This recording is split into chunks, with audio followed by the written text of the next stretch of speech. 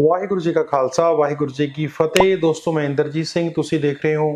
Tourist India Instagram Facebook ਔਰ YouTube channel ਸਾਡੀ ਇਸ ਵੀਡੀਓ ਦਾ ਸਬਜੈਕਟ ਹੁੰਦਾ ਹੈਗਾ ਕਿਆ ਹੋਏ ਨੇ ਹੋਏ ਨੇ ਮਤਲਬ ਕੁਐਸਚਨ ਦੇ ਆਨਸਰ ਤੁਸੀਂ ਕਮੈਂਟ ਦੇ ਰੂਪ ਦੇ ਵਿੱਚ ਮੈਨੂੰ ਸਵਾਲ ਕਰਦੇ ਹੋ ਤੇ ਮੈਂ ਤੁਹਾਡੇ ਸਵਾਲਾਂ ਦਾ ਜਵਾਬ ਦਿੰਦਾ ਹੈ ਇਹ ਵੀਡੀਓ ਹਰ ਰੋਜ਼ ਰਾਤ ਨੂੰ 8:30 ਵਜੇ YouTube ਤੋਂ ਜਿਹੜੀ ਹੈਗੀ ਹੈ ਰਿਲੀਜ਼ ਹੁੰਦੀ ਹੈ ਸੋ ਤੁਹਾਡੇ ਦਿਮਾਗ 'ਚ ਕੋਈ ਵੀ ਡਾਊਟ ਹੈ ਤੁਸੀਂ ਕੋਈ ਇਮੀਗ੍ਰੇਸ਼ਨ ਲੈ ਕੇ ਸਵਾਲ ਕਰਨਾ ਚਾਹੁੰਦੇ ਹੋ ਤਾਂ ਤੁਸੀਂ ਸਾਡੀ ਕਿਸੇ ਵੀਡੀਓ ਦੇ ਕਮੈਂਟ ਕਰੋਗੇ ਸਾਨੂੰ ਹਰ ਰੋਜ਼ ਜਵਾਬ ਜਿਹੜਾ ਦਵਾਂਗੇ ਸੋ ਆਓ ਸ਼ੁਰੂ ਕਰਦੇ ਹਾਂ ਅੱਜ ਦਾ ਵੀਡੀਓ ਹੈਪੀ ਸਿੰਘ ਲਿਖਦੇ ਨੇ ਭਾਜੀ Canada and U S A ਇੱਕ ਦੂਜੇ ਨੂੰ ਡਾਟਾ ਸ਼ੇਅਰ ਕਰਦੇ ਆ ਅੰਬੈਸੀ ਕੀ ਇਹ ਸੱਚ ਹੈ ਭਾਜੀ ਕਿੰਨਾ ਕੁ ਸਹੀ ਹੈ ਜਾਂ ਐਵੇਂ ਹੀ ਲੋਕੀ ਕਹੀ ਜਾਂਦੇ ਨੇ ਦੱਸੋ ਜਰਾ ਬਿਲਕੁਲ ਜੀ ਜੋ ਅਮਰੀਕਾ ਤੇ ਕੈਨੇਡਾ ਆਪਸ ਦੇ ਵਿੱਚ ਡਾਟਾ ਸ਼ੇਅਰਿੰਗ ਜੋ ਹੈ ਕਰਦਾ ਹੈਗਾ ਸੋ ਜੇਕਰ ਤੁਸੀਂ ਕੈਨੇਡਾ ਦਾ ਅਪਲਾਈ ਕੀਤਾ ਹੋਇਆ ਹੈਗਾ ਤਾਂ ਤੁਹਾਨੂੰ ਜਦੋਂ ਅਮਰੀਕਾ ਤੁਸੀਂ ਅਪਲਾਈ ਕਰਦੇ ਹੋ ਦੱਸਣਾ ਪਏਗਾ ਜੇ ਤੁਸੀਂ ਅਮਰੀਕਾ ਦਾ ਕੀਤਾ ਹੋਇਆ ਜਦੋਂ ਕੈਨੇਡਾ ਅਪਲਾਈ ਕਰ ਦੱਸਣਾ ਪੈਂਦਾ ਅਦਰਵਾਈਜ਼ ਇਹ ਡਾਟਾ ਸ਼ੇਅਰਿੰਗ ਦੇ ਦੌਰਾਨ ਤੁਹਾਡੀ ਜੇ ਤੁਸੀਂ ਨਹੀਂ ਦੱਸੋਗੇ ਫੜ ਲੈਂਦੇ ਨੇ ਤੁਹਾਨੂੰ ਬੈਨ ਜਿਹੜਾ ਹੈਗਾ ਉਹ ਕਰ ਦਿੰਦੇ ਨੇ ਕਿਰਨਵੀਰ ਬੁੱਟਰ ਲਿਖਦੇ ਨੇ do we need IELTS for work permit if we do how many bands we required Kiranveer ji ਦੇਖੋ ਆਈਲੈਂਡਸ ਜਿਹੜਾ ਵਰਕ ਪਰਮਿਟ ਵਰਕ ਪਰਮਿਟ ਵਾਸਤੇ ਆਈਲੈਂਡਸ ਜ਼ਰੂਰ ਚਾਹੀਦੇ ਨੇ ਹਾਂ ਸੀ ਕੈਟਾਗਰੀ ਜਿਵੇਂ ਐਗਰੀਕਲਚਰ ਹੋ ਗਿਆ ਜਾਂ ਫਾਰਮ ਵਰਕਰ ਔਰ ਕੰਸਟਰਕਸ਼ਨ ਵਰਕਰ ਹੋ ਗਏ ਉਹਨਾਂ ਵਾਸਤੇ ਆਈਲੈਂਡਸ ਦੀ ਲੋੜ ਨਹੀਂ ਪੈਂਦੀ ਬਾਕੀ ਸਾਰੇ ਤਰ੍ਹਾਂ ਦੇ ਵਰਕ ਪਰਮਿਟ ਵਾਸਤੇ ਜੋ ਹੈ ਆਈਲੈਂਡਸ ਦੀ ਲੋੜ ਪੈਂਦੀ ਓਵਰਆਲ 6 ਬੈਂਡ ਜਿਹੜੇ ਉਹ ਜ਼ਰੂਰੀ ਹੁੰਦੇ ਨੇ ਕੁਝ ਕੁ ਜਿਹੜੀਆਂ ਕੈਟਾਗਰੀਜ਼ ਨੇ ਉਹਦੇ ਵਿੱਚ ਤੁਸੀਂ ਓਵਰਆਲ 5.5 1 ਚ 5 ਵੀ ਜਿਹੜੇ ਹੈਗੇ ਉਹ ਲੈ ਸਕਦੇ ਹੋ ਲਬਸੰਦੂ ਲਿਖਦੇ ਨੇ ਸਰ ਗਵਰਨਮੈਂਟ ਅਪਲਾਈ ਦੇ ਚਾਂਸ ਕਿੰਨੇ ਕੁ ਹੁੰਦੇ ਨੇ ਬ੍ਰਦਰ ਗਵਰਨਮੈਂਟ ਐਮਪਲਾਈ ਦੇ ਚਾਂਸ ਬਹੁਤ ਵਧੀਆ ਹੁੰਦੇ ਨੇ ਕਿਉਂਕਿ ਐਮਬੈਸੀ ਇਹ ਦੇਖਦੀ ਵੀ ਤੁਹਾਡੇ ਵਾਪਸ ਮੁੜਨ ਦੇ ਕਿੰਨੇ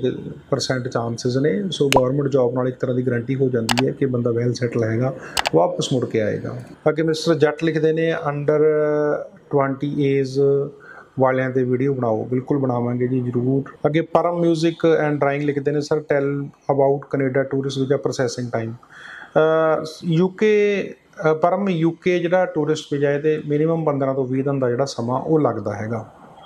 ਪ੍ਰਭਜੋਤ ਸਿੰਘ ਲਿਖਦੇ ਨੇ ਸਰ ਮੇਰਾ ਕੈਨੇਡਾ ਵੀਜ਼ਾ ਐਪਲੀਕੇਸ਼ਨ ਫਾਰਮ 'ਚ ਐਜੂਕੇਸ਼ਨ ਗਲਤ ਫਿਲ ਕੀਤੀ ਗਈ ਗ੍ਰੈਜੂਏਸ਼ਨ 2014-15 ਲਿਖ ਦਿੱਤੀ ਹੈ ਕੋਈ ਗੱਲ ਤਾਂ ਨਹੀਂ ਪਲੀਜ਼ ਟੈਲ ਮੀ ਬਾਕੀ ਸਾਰੇ ਰਾਈਟ ਹੈ ਐਪਲੀਕੇਸ਼ਨ ਫਾਰਮ ਆ ਦੇਖੋ ਜਦੋਂ ਤੁਸੀਂ ਜੇ ਰੱਬ ਕਰੇ ਤੁਹਾਡਾ ਵੀਜ਼ਾ ਆ ਜੇ ਵਧੀਆ ਗੱਲ ਹੈ ਠੀਕ ਹੈ ਕੋਈ ਦਿੱਕਤ ਵਾਲੀ ਗੱਲ ਨਹੀਂ ਜੇਕਰ ਵੀਜ਼ਾ ਨਹੀਂ ਆਂਦਾ ਨਾ ਤਾਂ ਤੁਸੀਂ ਨੈਕਸਟ ਟਾਈਮ ਇਸ ਚੀਜ਼ ਨੂੰ ਠੀਕ ਕਰ ਸਕਦੇ ਹੋ ਰਜਿੰਦਰ ਕੁਮਾਰ ਟਿੰਗਰਾ ਲਿਖਦੇ ਨੇ ਆਈਟੀ ਦਾ ਜੌਬ ਆਫਰ ਅਵੇਲੇਬਲ ਹੈ ਸਾਡੇ ਕੁਝ ਜਿਹੜੇ ਮਿੱਤਰ ਕੰਮ ਕਰਦੇ ਨੇ ਜੀ ਉਹਨਾਂ ਕੋਲ ਅਵੇਲੇਬਲ ਹੈਗਾ ਸੋ ਤੁਸੀਂ ਸਾਨੂੰ ਕੰਟੈਕਟ ਕਰ ਸਕਦੇ ਹੋ ਅਸੀਂ ਸਾਨੂੰ ਕੰਟੈਕਟ ਨੰਬਰ ਦੇ ਸਕਦੇ ਹੋ ਉਹਨਾਂ ਦਾ ਰਾਮ ਹੇਅਰ ਆਰਟਿਸਟ ਲਿਖਦੇ ਨੇ please make a video on Australia work visa ਬਿਲਕੁਲ ਜੀ ਜ਼ਰੂਰ ਬਣਾਵਾਂਗੇ ਆਸਟ੍ਰੇਲੀਆ ਵਰਕ ਵੀਜ਼ਾ ਦੇ ਵੀਡੀਓ ਬਣਾਵਾਂਗੇ ਰੰਗੋਲੀ ਡਿਜੀਟਲ ਲੈਬ ਲਿਖਦੇ ਨੇ ਜੀ ਕੋਈ कोई यूट्यूबर बोलते हैं सही टाइम है कोई यूट्यूबर बोलते हैं अभी सही टाइम नहीं है देखिए रंगोली जी ऐसे है आप अपने दिमाग से खुद सोच सकते हैं कि सही टाइम है या नहीं है देखिए अभी जैसे आपके मन में डाउट है कि वीज़ा लगाना चाहिए या नहीं लगाना चाहिए तो सभी लोगों के मन में ये डाउट है तो इस डाउट के चक्कर में जो एप्लीकेशन बहुत कम जा रही हैं और जितनी एप्लीकेशन कम जाएंगी उतना सक्सेस रेट ज़्यादा रहता है सो अभी सबसे अच्छा टाइम है वीज़ा अप्लाई करने के लिए आप जॉब लेने जाते हैं एक जगह दस लोगों ने अप्लाई किया हुआ है जॉब के लिए और एक जगह पे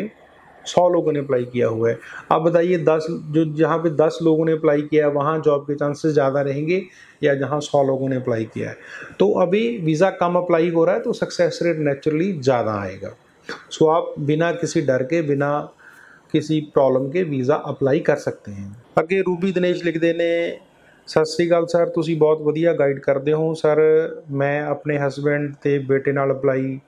ਕਰ ਸਕਦੀ ਆ ਕਿੰਨੇ ਚਾਂਸ ਨੇ ਸਾਡੇ ਵੀਜ਼ਾ ਆਣ ਦੇ ਸਾਡੀ ਪ੍ਰੋਫਾਈਲ ਸਟਰੋਂਗ ਹੈ ITR bank statement property valuation ਵਧੀਆ ਹੈ ਪਲੀਜ਼ ਸਰ ਰਿਪਲਾਈ ਕਰਿਓ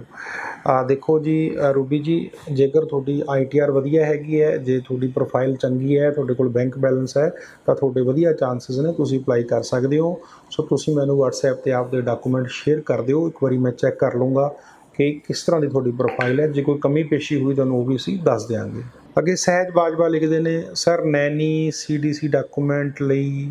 ਕਿ ਸ਼ੈਨਿੰਗਨ ਵੀਜ਼ਾ ਮਿਲ ਸਕਦਾ ਹੈ ਮਿਲ ਸਕਦਾ ਜੀ ਤੁਸੀਂ ਕਾਲ ਕਰ ਲਿਓ ਤੁਹਾਨੂੰ ਇਸ ਬਾਰੇ ਜਿਹੜੀ ਹੈ ਅਸੀਂ ਗਾਈਡ ਕਰ देंगे ਅੱਗੇ ਸੁਨੀਤਾ ਚੌਧਰੀ ਲਿਖਦੇ ਨੇ सर मेरे हसबेंड की गौरमेंट पासपोर्ट पर टू कंट्री का वीज़ा लगा हुआ है अब हम पर्सनल पासपोर्ट यू एस जाना चाहते हैं जो फ्रेश है क्या हमारी ट्रैवल हिस्ट्री गवर्नमेंट पास वाली मानी जाएगी प्लीज़ आंसर दीजिए बिल्कुल मानी जाएगी जी जब आप अप्लाई करें तो इसकी कॉपी ज़रूर साथ में लगा दीजिए या जब आप फार्म भरेंगे वहाँ पे पूछा जाता है कि किन किन कंट्री आपने ट्रैवल किया तो वहाँ पे आप भर सकते हैं ट्रैवल हिस्ट्री मानी जाती है तरन तुरना लिख देने सर जी यू वीज़ा लगजू फार्मिंग करदा फार्म है तीन साल दे ਕਰ ਸਕਦੇ ਹੋ ਜੀ ਜੇ ਫਾਰਮਿੰਗ ਵਾਲੇ ਵੀ ਜੇ ਤੁਹਾਡੀ ਇਨਕਮ ਵਧੀਆ ਹੈਗੀ ਜੇ ਫਾਰਮ ਵਗੈਰਾ ਹੈਗੇ ਨੇ ਤਾਂ ਤੁਸੀਂ ਕਰ ਸਕਦੇ ਹੋ ਉਪਿੰਦਰ ਮਹਿਰਾ ਲਿਖਦੇ ਨੇ sir I am technician I am working in Qatar gulf before 2 year but I have qualification only 12th I have total 4 experience optical fibre network 4G 5G field FTTX GPN network okay I know little bit English not fully after uh, finishing eyelets can i apply for Limia through ircc layer can i can they help provide the same field sir can you help me for eyelets and ircc layer yes open the uh, definite first uh, you do you can do eyelets after uh, done eyelets you can approach for Limia or uh, approach for job offer you have very good experience so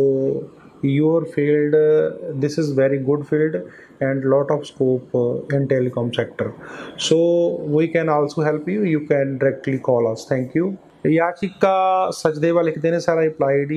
I applied for nanny work visa I got file number so what will be the next process wait for all आप wait कीजिए ठीक है जी time लगेगा आपका visa आएगा AP लिख a good information bro my passport is valid up to September 21 if come uh, Canada can I renew my Indian passport in Canada yes you can uh, renew anywhere your passport in in the whole world so so don't need to panic if you are in Canada so you have to approach Indian embassy and uh, renew your passport. Thank you. Abdul Wahid Likhde ne, I am an IT profession with around 4 year experience in reputed MNC and good package of 10 lakh PA. Okay, I am working uh, remotely, work from home. My friend recently moved to Canada for higher study. Can I visit on tourist visa? stay with him and work from uh, work from Canada around two three month. I can get leave two three month, right? So is it to mandatory? So so NSE from my employer. Uh, Abdul, yes, you have very good profile. Uh, you you getting 10 10 lakh annual. Uh, so you have very good chances for tourist visa so you can apply and you i think you can get easily tourist visa so you can take our help uh, after uh, seeing my video you can approach us you can call us we will guide you according your profile so thank you very much Okay, ahmed ali sheikh likhde ne hi i have b1 b2 visa so can i travel by third country after 14 days stay when entry in america it is possible or not right now it's not possible so you have to wait for some days more i think uh, in september it uh, USA will open the border for Indian. So right now I have to say very difficult about US travel. So don't uh, we panic and uh, wait for the right time thank you Ankit Sharma लिख देने sir Canada tourist visa के लिए क्या हम credit card की statement लगा सकते हैं और कितना सेविंग शोर कर सकते हैं अंकित शर्मा जी क्रेडिट कार्ड की आप तो स्टेटमेंट नहीं लगा सकते क्रेडिट कार्ड आपको आपका पैसा अपना नहीं होता आपको बैंक के द्वारा उधार दिया जाता है टूरिस्ट वीज़ा के लिए आपका अपना पैसा होना ज़रूरी है तो आप क्रेडिट कार्ड की स्टेटमेंट नहीं यूज़ कर सकते अनुन्या नाग लिख देने हेलो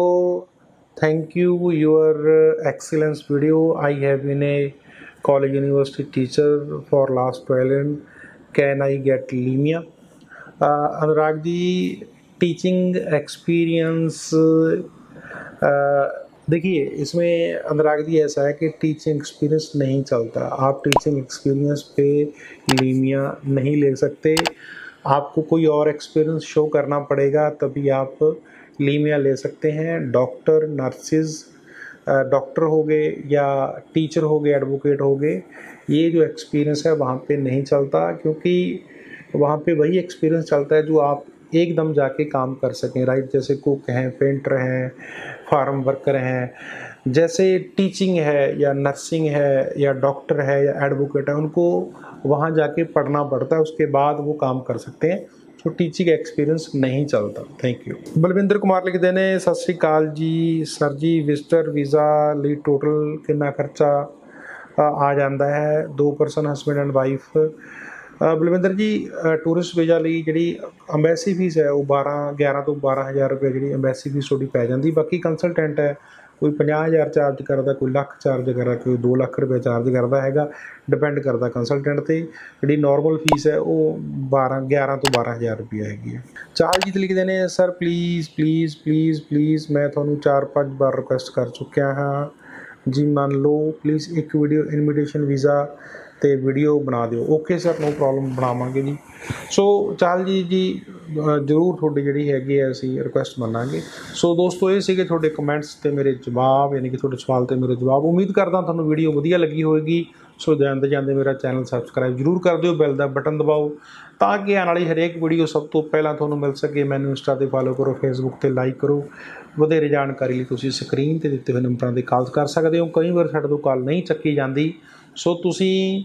ਅਸੀਂ ਤੁਹਾਡੇ ਵਾਸਤੇ ਇਸ ਵੀਡੀਓ ਦੀ ਡਿਸਕ੍ਰਿਪਸ਼ਨ ਦੇ ਵਿੱਚ ਇੱਕ ਲਿੰਕ ਸ਼ੇਅਰ ਕਰ ਰਹੇ ਹਾਂ ਤੁਸੀਂ ਲਿੰਕ ਤੇ ਜਾ ਕੇ ਆਪਦੀ ਇਨਕੁਆਰੀ ਫਾਰਮ ਭਰ ਸਕਦੇ ਹੋ ਅਸੀਂ ਡੈਫੀਨਿਟ ਤੁਹਾਨੂੰ ਕਾਲ ਕਰਾਂਗੇ ਸੋ ਬਹੁਤ ਬਹੁਤ ਧੰਨਵਾਦ ਵਾਹਿਗੁਰੂ ਜੀ ਕਾ ਖਾਲਸਾ ਵਾਹਿਗੁਰੂ ਜੀ ਕੀ ਫਤਿਹ